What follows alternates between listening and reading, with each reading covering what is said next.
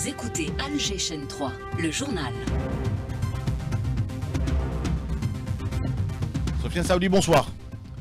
Hakim Bey, bonsoir, bonsoir à tous. Le président de la République Abdelmajid Tebboune a regagné ce soir Alger de retour du sultanat d'Oman après une visite d'État, visite sanctionnée par un communiqué commun dans lequel les deux parties ont affiché leur ferme volonté de poursuivre le développement de la coopération bilatérale dans divers domaines. Décès du Moudjahed et colonel Tahar Zbiri, chef de la wilaya historique une et ancien membre du Conseil de la Nation à l'âge de 95 ans, le président de la République Abdelmajid Tebboune a adressé ses condoléances à la famille du défunt. Parade militaire dans la capitale le 1er novembre pour marquer le 70e anniversaire du déclenchement de la glorieuse guerre de libération nationale, parade sous la supervision du président de la République. Pas moins de 620 milliards de dinars, le montant du budget alloué au soutien au développement local dans le cadre du projet de loi de finances 2025, a affirmé aujourd'hui le ministre de l'Intérieur devant la commission finances de la PN. À l'initiative de l'Algérie euh, pour soutenir l'UNRWA, un communiqué de presse conjoint voté à l'unanimité par les membres du Conseil de sécurité, réaction après l'interdiction des activités de cette agence onusienne dans les territoires occupés palestiniens. La France, qui fait fi du, droit international, annonce par la voix de son président depuis le Maroc des investissements dans les territoires occupés du Sahara occidental. Et puis ce spectacle, ce soir à 20h, une épopée de l'histoire de l'Algérie à la coupole Mohamed Boudiaf, on retrouvera nos envoyés spéciaux.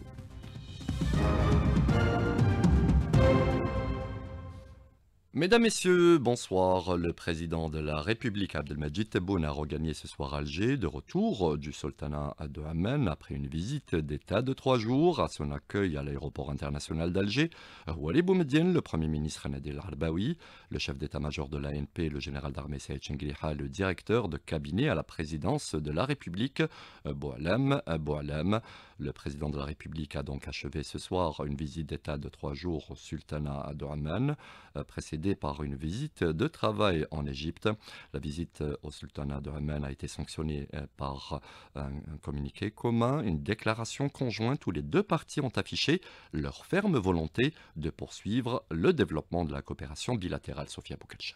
Les deux dirigeants ont exprimé leur satisfaction quant au progrès accompli dans les relations bilatérales, incluant les résultats de la huitième session du comité mixte romano-algérien tenu en juin, donnant des directives pour intensifier les échanges et les visites entre les différentes parties en vue de suivre et mettre en œuvre toutes les initiatives du programme bilatéral. Dans cette perspective, les discussions ont abouti à l'approbation de plusieurs initiatives, notamment la création d'un fonds d'investissement commun à romano algérien qui permettra la réalisation de partenariats dans des domaines tels que l'énergie renouvelable, la pétrochimie, l'agriculture saharienne, la technologie, le tourisme et d'autres secteurs prometteurs, de même qu'il y a eu la signature de huit mémorandums d'entente dans différents secteurs. Les questions régionales et internationales également abordées par les deux dirigeants qui ont appelé à mettre fin à l'agression israélienne sur les territoires palestiniens, le Liban, la Syrie et l'Iran, tout en soulignant le droit du peuple palestinien à établir un État indépendant avec le Quds comme capitale. La partie omanaise a salué les efforts de l'Algérie en tant que membre du Conseil de sécurité pour son soutien aux causes arabes et justes et pour son rôle constructif. De son côté, la partie algérienne a salué le rôle important et central que joue le sultanat de Oman dans les efforts de paix visant à réduire les tensions et à promouvoir la compréhension et la coopération positive dans la région et dans le monde. Le président de la République, Abdelmajid Tebboune, qui a adressé aujourd'hui un message de condoléances sincères à la famille du défunt Moudjahed et colonel Tahal Zbiri, chef de la wilaya 1 et ancien ministre et ancien membre du Conseil de la Nation à l'âge de 95 ans. L'Algérie, qui vient de perdre à la veille de la célébration du 70e anniversaire de la guerre de libération nationale, de son déclenchement, l'un des grands chefs de euh, la révolution qui ont sacrifié leur vie, leur corps et âme pour notre indépendance, a écrit le président de la République, Tahar Zbiri, tout un parcours révolutionnaire, récit signé Hanan Seisi. Né le 4 avril 1929 à Soukaras, Tahar a fait partie des jeunes révolutionnaires de la première heure de la guerre de libération nationale. Il est chef d'équipe aux mines de fer de Luanza lorsqu'il adhère au PPA-MTLD. Il participe par la suite aux côtés de Beji Mortar à la préparation du 1er novembre 54 dans la région de Guelma. Il était alors chef d'une cellule de collecte d'armes relevant de l'organisation spéciale. Tahar l'évoquait justement il y a quelques années.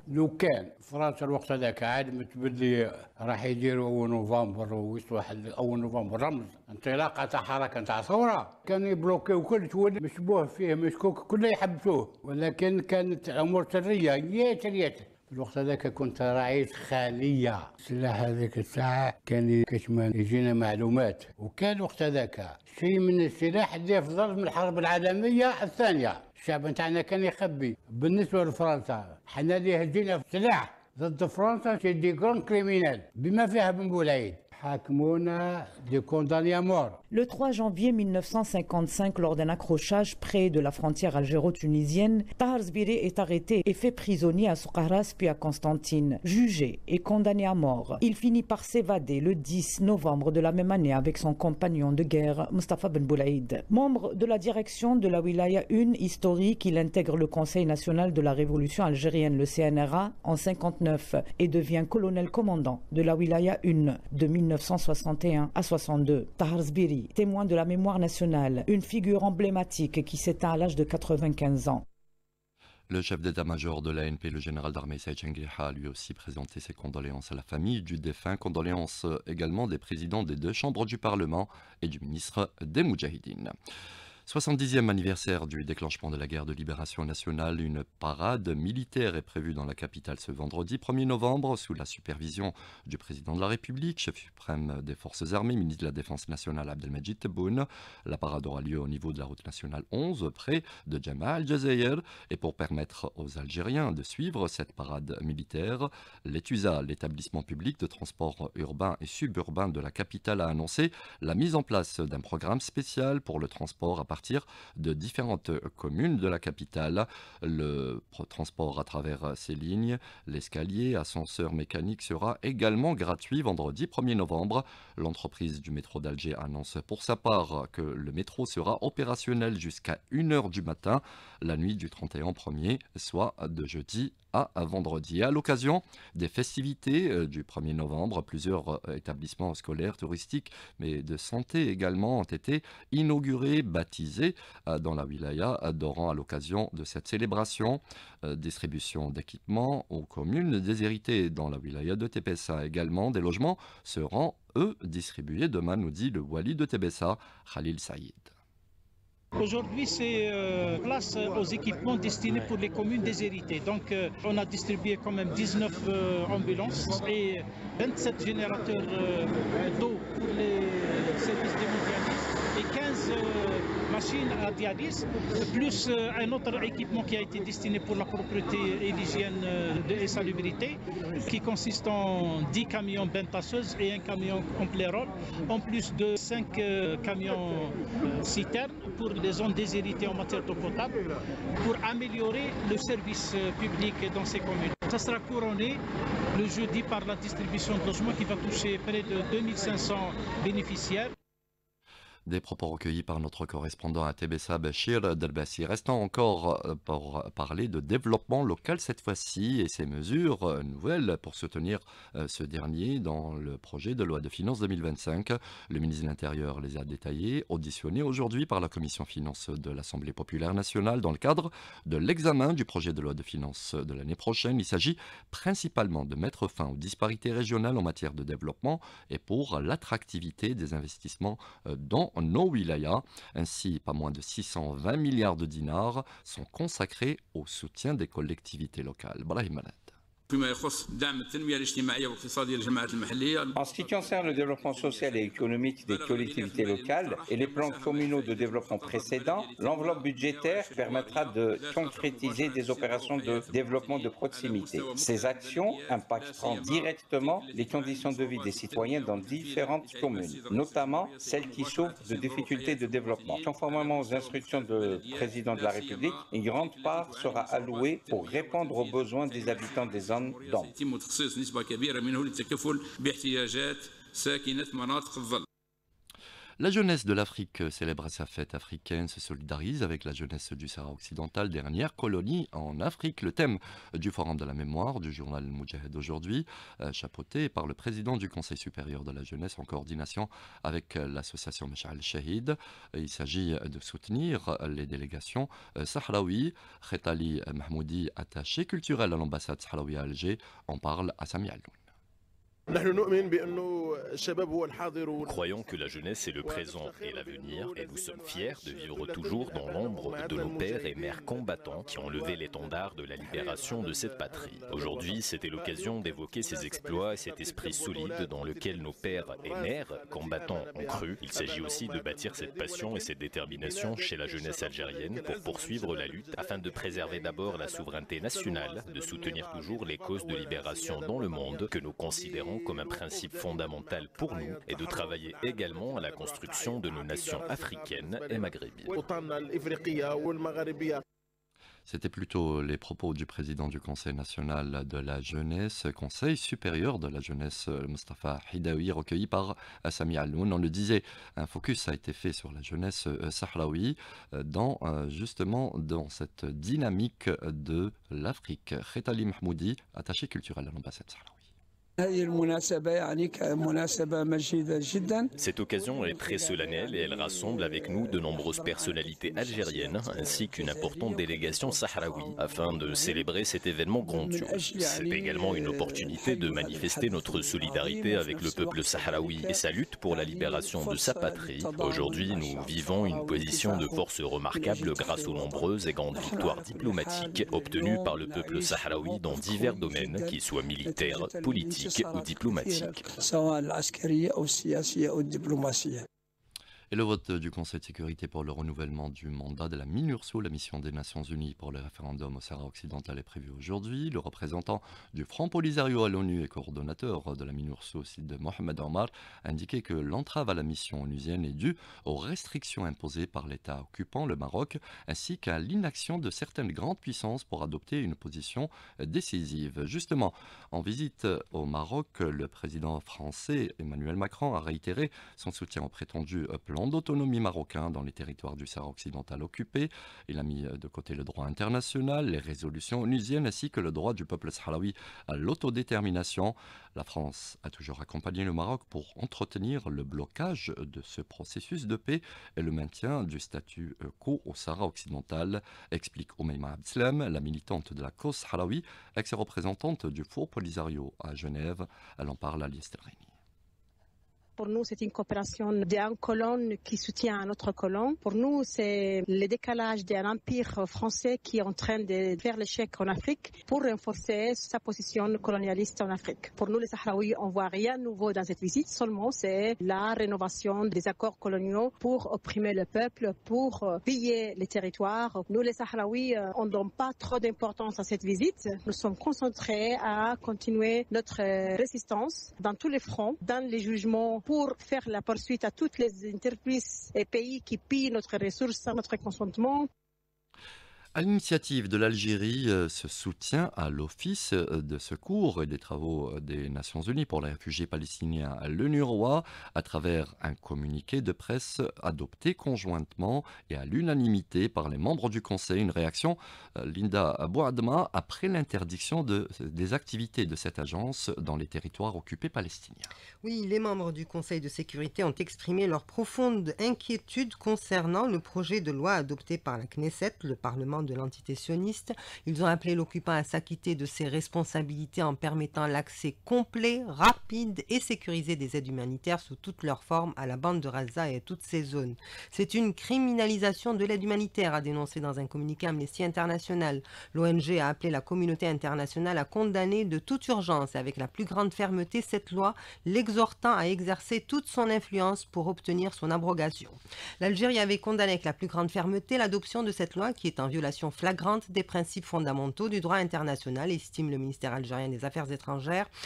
Le Liban a réagi en estimant que cette mesure sans précédent fait partie d'une campagne sioniste systématique visant à cibler l'agence, à déformer son image, à entraver ses efforts et à mettre fin à son rôle dans la fourniture d'aide humanitaire aux réfugiés palestiniens. Philippe Lazzarini, le commissaire général de l'UNRWA, a déclaré quant à lui que l'interdiction par l'entité sioniste des activités de l'agence onusienne laisserait un vide qui coûterait davantage de vie et créerait davantage d'instabilité à Gaza et en Cisjordanie occupée. Pour Inès directrice médiatique de l'UNRWA à Gaza, le rôle de cette agence est central. Ce communiqué signé par les membres du Conseil de sécurité relève de la nécessité de soutenir l'UNRWA et l'ensemble de ses opérations. Le soutien international dont bénéficie l'UNRWA démontre l'importance de son rôle pivot dans l'action humanitaire régionale, notamment à Gaza, L'UNRWA qui a appelé l'Assemblée générale des Nations unies et les donateurs à soutenir la poursuite de la fourniture de services et a appelé l'entité sioniste à annuler sa décision. À 19h18 minutes, on poursuit euh, cette édition toujours par la situation qui prévaut en, Gaza et le génocide sioniste où la ville de Beit dans le nord de la bande a été déclarée zone sinistrée alors que l'armée sioniste renforce son siège et continue de bombarder la ville.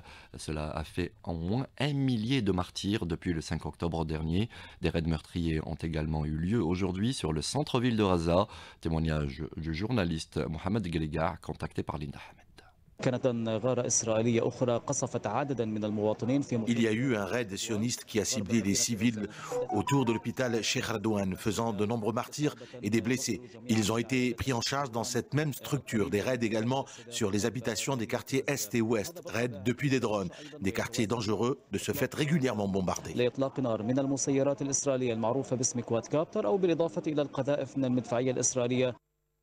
Le bilan global à ce jour fait état d'au moins 43 200 martyrs et plus de 101 000 euh, blessés euh, parmi la population euh, palestinienne. Également de violentes frappes ont été menées par l'entité sioniste, son armée, à travers le territoire libanais. Elles ont visé aujourd'hui Baalbek, une ville pourtant millénaire de l'est du pays. La compagnie aérienne nationale Air Algérie annonce la reprise des vols de et vers la capitale malienne Bamako. Sera le 2 décembre prochain. Elle avait suspendu le 17 septembre dernier euh, ses vols vers Alger, les reliant Alger à Bamako en raison de la fermeture de l'espace aérien euh, du Mali. On est à la veille euh, de la fin du mois rose, le mois de sensibilisation dépistage au cancer du sein. Invité de l'émission Ça vous concerne sur nos ondes aujourd'hui, la présidente de l'association L'Amel souligne l'engouement constaté sur le terrain, notamment au niveau de la wilaya de Khanchla. Hamida Kitab en parlait à Nahla Bekralas un monde de fou. Il y a les femmes qui viennent très tôt le matin pour avoir un rendez-vous pour essayer de se faire dépister. Clairement, je ne pensais pas avoir euh, tout ce monde dans une vie très conservatrice comme la Louis Trincheland. Elles sont conscientes, elles savent que le dépistage maintenant est très important pour en fait sauver leur vie ou éviter le cancer sein. Dans le cas de la caravane, on peut prendre maximum 70 femmes jour. On fait un dépistage, ça veut dire l'interrogatoire, l'examen clinique, la mammographie avec les deux lectures, l'échographie mammaire et des fois on trouve des cas suspects là où on est obligé de faire une microbiopsie nous avons quand même fait 9 microbiopsies. On travaille de 7h30 du matin jusqu'à 7h le soir. Et là, on a un flux de plus de 100 femmes qui viennent par jour. On est obligé de renvoyer certaines larves, mais on essaye de faire le maximum. D'ailleurs, on va prolonger fait notre séjour et tout pour essayer de prendre le maximum. Un grand spectacle en perspective euh, ce soir pour marquer le 70e anniversaire du déclenchement de la guerre de libération nationale, une épopée de l'histoire de l'Algérie, des temps anciens à aujourd'hui. Fatah Boumadi, vous êtes à la coupole Mohamed Boutiaf. Racontez-nous le spectacle et justement ce qui se passe. La représentation débutera à 20h, n'est-ce pas? Oui, bonsoir euh, Sofiane. Effectivement, euh, en direct de la Coupe d'Alger, Mohamed Boudiaf, la célébration du 70e, euh, de la 70e commémoration du déclenchement de la guerre de libération s'annonce grandiose. Roh ou l'âme de l'Algérie et l'intitulé de ce spectacle mis en scène par le talentueux Ahmed Zeg et produit par le ministère des Moudjahidines et en droit. une épopée qui se décline sur 13 tableaux et qui relate l'histoire de l'Algérie à travers différentes époques, de la Numidie jusqu'à l'Algérie indépendante, en passant par tous les moments phares de notre histoire. Une vraie fourmilière où s'activent 200 techniciens et 700 artistes venus des quatre coins du pays, euh, dont de grands noms de la scène artistique algérienne, tels que Hassan Kishash, Mustafa Laribi ou encore Amal Wahbi. Et à leur côté, 17 artistes de pays arabes sont invités à cet événement spectaculaire. Donc, son, lumière et mapping ont été arrangés pour assurer une immersion totale dans ce spectacle gigantesque. Et je rajouterai que euh, sont attendus à cet événement euh, grandiose, je le disais, le Premier ministre Nedel Abawi, le ministre des Moudjahidines ayant droit, la ministre de la Culture et des Arts euh, Sora Mouloudi et plusieurs membres du gouvernement et cadres de l'État. En tout cas, on vous fera vivre cet événement sur les ondes d'Alger. Chaîne 3 tombé de rideau ce soir sur le festival du film Amazir Tizi Ouzou, une clôture et un palmarès, l'Olivier d'Or attribué par le jury au long métrage Argou. L'acteur de ce film, Mohamed Lefkir, en parle à notre correspondant Mohamed Houchi. Je tiens à remercier le réalisateur Omar Belkacmi, c'est un grand monsieur. Il a tout fait pour euh, faire euh, ce film et à la fin, il a eu le prix euh, meilleur long métrage dans ce festival de films amazigh. Ergo, c'est l'histoire d'un jeune qui est mon frère dans le film, qui a été interné. les gens de village le voyaient autrement, comme quoi il est malade. Les sages de village disent qu'il est malade, mais non, c'est pas Coco qui est malade. C'est la société qui est malade finalement. L'actualité sportive, c'est avec vous, euh, Nessima Djaout. Bonsoir. Bonsoir, Sofiane. Pour parler de football et la sélection nationale qui effectuera un regroupement euh, durant les dates FIFA du 11 au 17 novembre en prévision des éliminatoires de la Cannes 2025. Début du stage lundi 11 novembre au, centre technique de Sidi Moussa et pendant cette période, l'équipe nationale se déplacera à Malabo pour affronter la Guinée équatoriale le 14 novembre euh, à 14h pour le compte de la cinquième et avant-dernière journée du groupe E des éliminatoires de la Cannes 2025. Le match de la sixième et dernière journée des qualifications face au Libéria aura lieu le 17 novembre à 17h au stade Hussein Ahmed de Tizi Ouzou. C'est d'ailleurs la première fois que l'équipe nationale va jouer à Tizi Ouzou et un comité d'organisation se déplacera samedi 2 novembre à Tizi Ouzou pour entamer les préparatifs de cette rencontre. Je rappelle que les Verts occupent la première place avec 12 points. Ils ont même scellé leur qualification pour la phase finale de la CAN 2025 à deux journées de la fin des éliminatoires. La Guinée équatoriale est deuxième avec 7 points, le Togo troisième avec 2 points, alors que le Libéria ferme la marche avec seulement un point. À présent, on va parler de l'éventuelle arrivée de la Mbolhi à la JSK. On en parle ici et là. Mhm. Certains l'ont même confirmé. Eh bien, il n'en est du tout le cas, ce n'est pas le cas. Le Mbolhi ne rejoindra pas la JSK puisque pour recruter Mbolhi, il faudra libérer un des gardiens qui est déjà présent. C'est euh, Gaïa Merbah est blessé avant même le coup d'envoi de la saison. C'était lors d'un match amical, il est gravement blessé. Il est loin des, il, sera loin des, des, terrains pendant longtemps. Et Hadid et Ben Alabah, pour le moment, aucun des deux n'est libéré. Donc, aucune place pour. Pour Merci Yannissi Madjaout pour ces, informations sportives et les dernières de cette édition réalisée par Sidali Tobal, à la console technique Adnan et Kalam au streaming vidéo, à la régie d'antenne Nesseline. Merci de nous avoir prêté attention. Les prévisions météo, c'est tout de suite avec Kalim